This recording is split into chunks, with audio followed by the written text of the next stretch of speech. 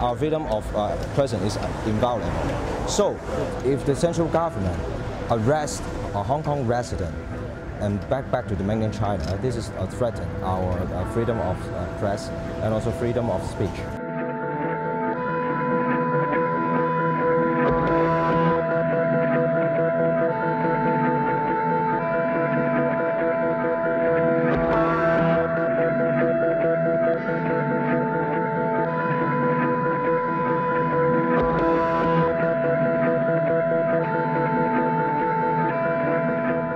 Past, we were safe because we lived in Hong Kong instead of mainland China.